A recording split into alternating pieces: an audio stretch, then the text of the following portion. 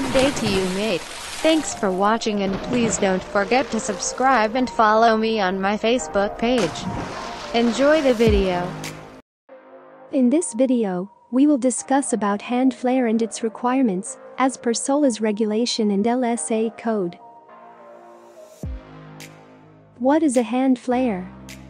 A hand flare is a type of pyrotechnic used in case of emergency or in distress to grab the attention and inform ships within range so as to seek help and assistance of the vessels for rescue. Pyrotechnics is the science of using materials capable of undergoing self-contained and self-sustained exothermic chemical reactions for the production of heat, light, gas, smoke, and or sound.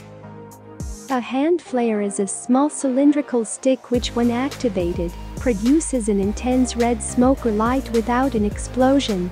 Should be held out leeward when activated. Can be used by the day as well as night.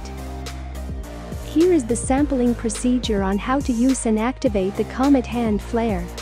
Comet Red Hand Flare is a short-range distress alerting signal typically deployed from a raft or stricken vessel to pinpoint your position when search and rescue services arrive.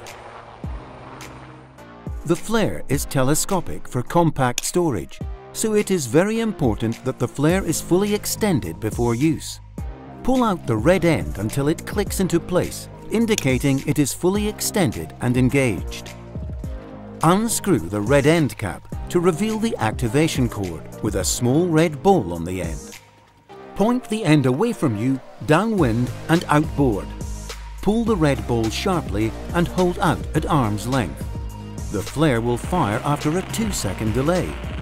Only hold the flare by the orange plastic end as the metal tube will become extremely hot. The flare produces a bright red flame at 15,000 candela for 60 seconds.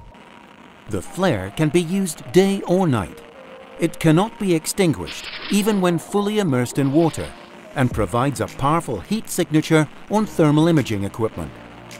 SOLAS requires ships' lifeboats and life rafts to each be fitted with six flares. What are the requirements of the hand flare? The hand flare shall be contained in a water-resistant casing, have brief instructions or diagrams clearly illustrating the use of the hand flare printed on its casing.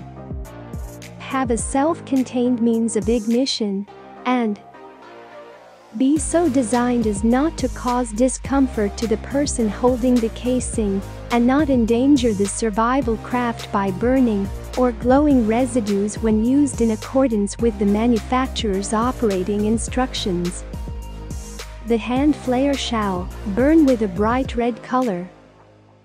Burn uniformly with an average luminous intensity of not less than 15,000 candelas.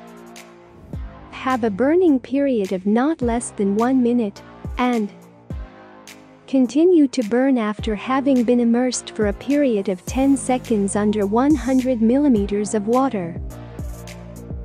Okay mate that's all for hand flare, and I hope it gives you a piece of information. Thank you for watching. Thank you for watching mate and if you like the video, please click the like button.